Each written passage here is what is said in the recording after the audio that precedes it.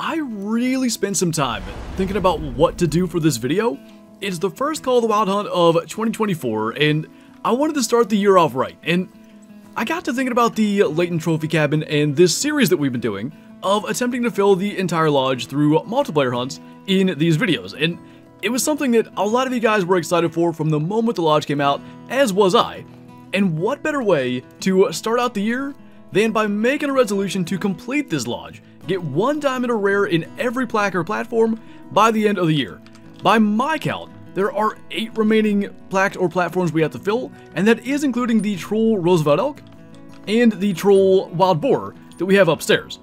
Took forever to get that to come up, it was trying to show us the Diamond Rocky Mountain Elk we have, but we're going to head to Hirschfelden as we've been on Layton Lakes and Silver Ridge Peaks as of late, and we're going to see if we can add to the lodge on our first hunt of the new year. So in this particular server, it is Red Deer drink time and Red Deer are trying to run us over, but I grabbed the M1, I thought it might be fun, and I also thought it would look good with the New Year's material. If you didn't see it in the video where we first used the New Year's cosmetics, it's basically confetti kind of pressed into a stock, and I think it actually works, especially with the New Year medal. I really do like the look of that gun. But, as far as Hirschfelden species that we're still after, I'd like a diamond or rare male European bison. We do have a rare female, but I do want to improve on that.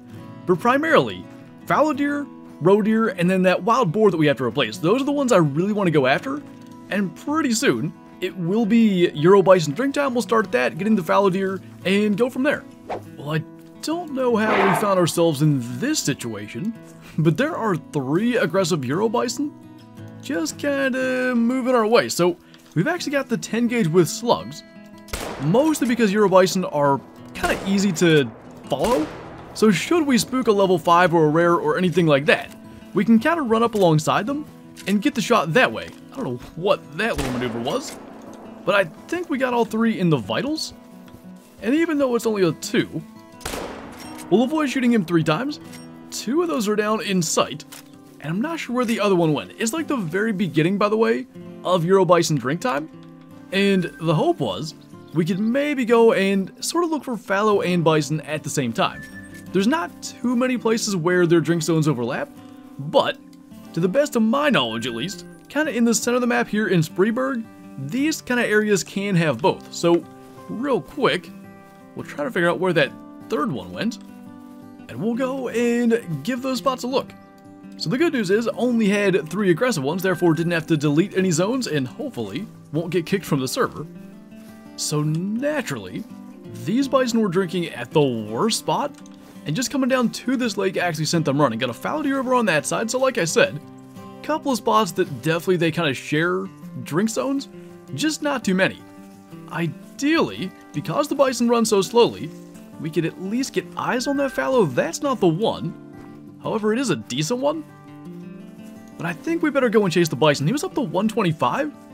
As a level 4, that is not too bad. He's going to be one of those front two there. He's going to be the one in the back. And I mean...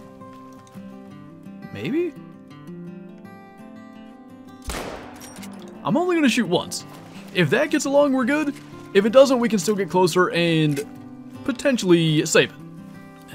Looks like it is going to need saving. So, question is, where in here has he ended up? It's just a whole mess of bison running around in there. They look like they're trying to go left. Because we hit that one, he probably did run out front. Yeah, he did, but he's, he's not even going down. Interestingly enough, he seems to just be sprinting, which actually would indicate that maybe we got him decently well. That hit him. so who knows what's going to happen? So we'll give him a minute. He's still going down. I'm just not real sure. You know what? Probably a better answer to this. Now we can see what happened. I still have to think there was no vital hit. Flesh, I mean, we were close. Need to be way further back. And that actually hit him in the leg. All things considered, not terrible considering how far that was. And then we finally got along with the M1. I wonder why he was running like that then.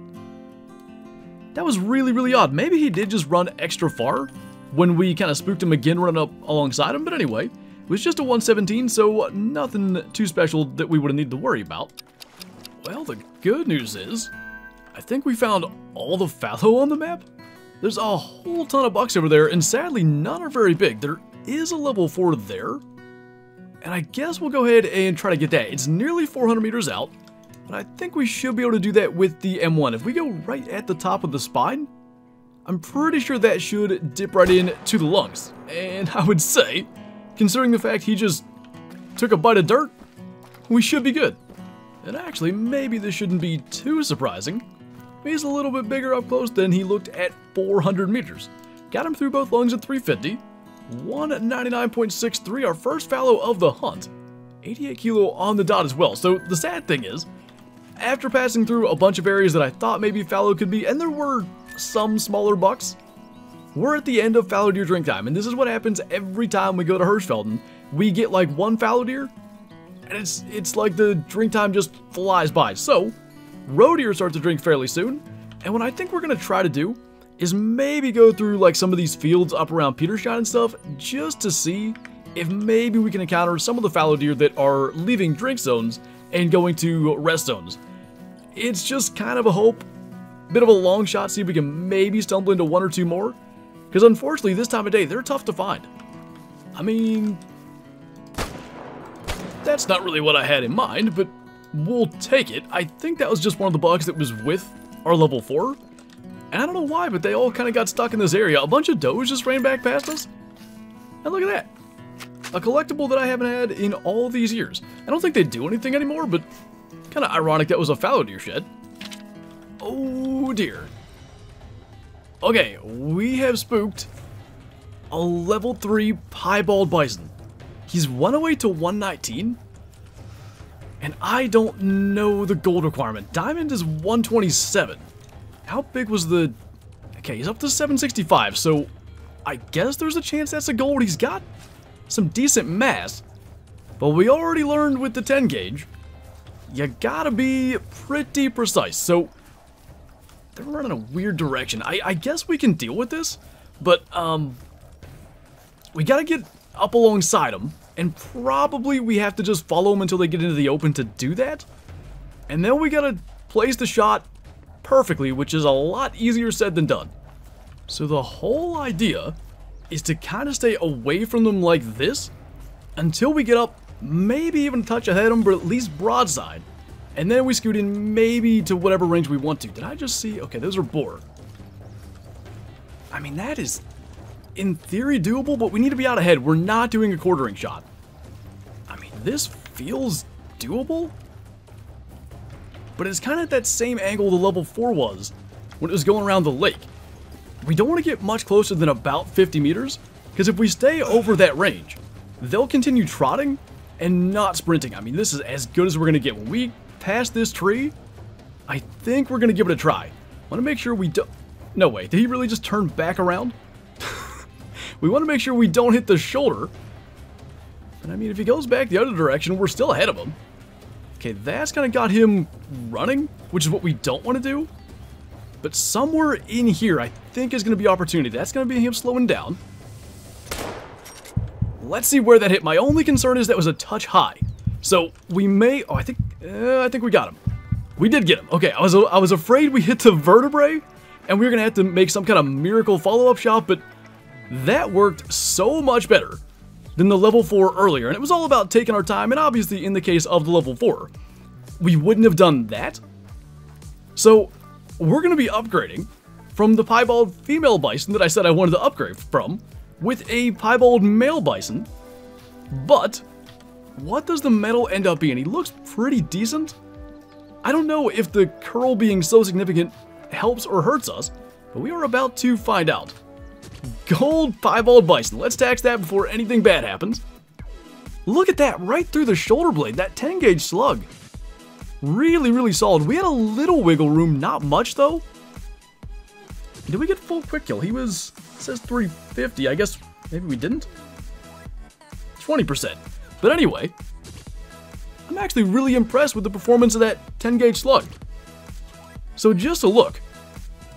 Nice posies in there horn length is perfectly even on either side, and When I talked about the curl, that's where I thought maybe it could help us, because there is a long length if you follow that outside curl. Spread obviously is next to nothing, and then circumference. I said as he was running away he had decent mass. That was the, the biggest part of the score, and I think it always is, on the Euro Bison. That is insane. With the shotgun of all things. I almost didn't bring a shotgun. I almost brought like the 338 or the 300, because we do have, I think we have all the small game. We've got a goose, we've got a pheasant, we've got the European rabbits already, but there's always that chance to upgrade, so I wanted to have birdshot in case. Haven't needed it yet, but Slugs got it done.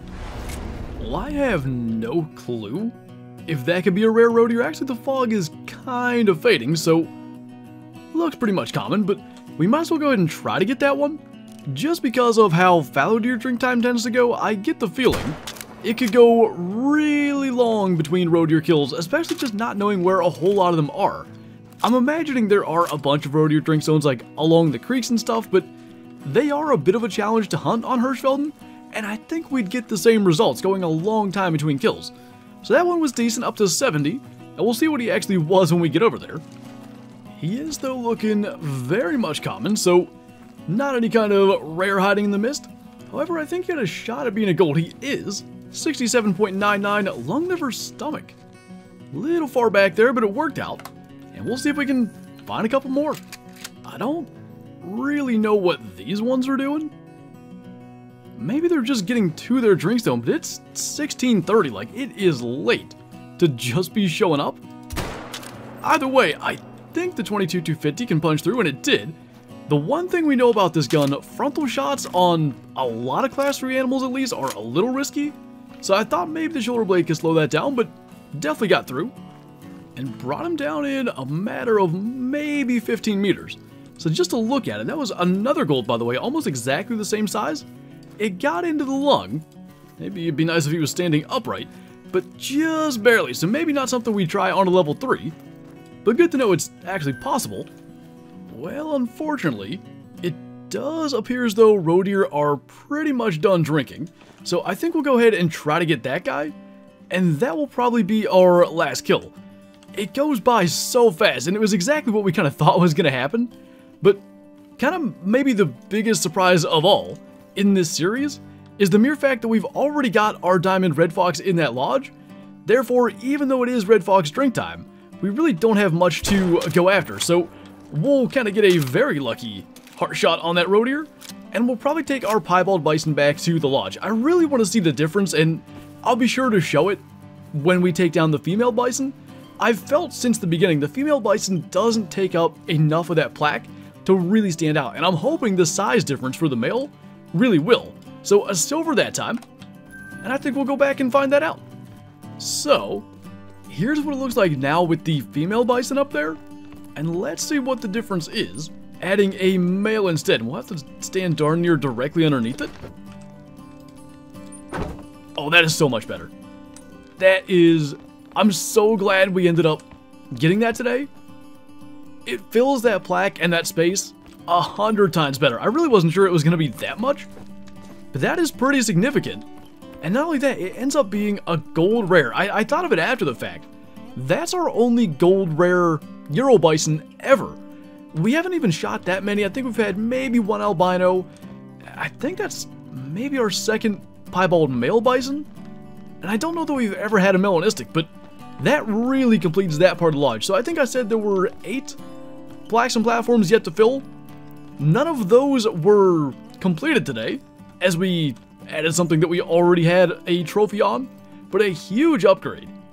And that just makes that part of the lodge look so much better. We've got that Diamond Rocky Mountain Elk, from our Silver Ridge Peaks adventures, now we get to add a gold piebald bison, and what a way to start our New Year's resolution for 2024. Complete the Layton Trophy Cabin with at least a diamond or rare on every single spot. So anyway, that is going to do it for this video, so as always, thank you guys for watching, and I'll see you next time.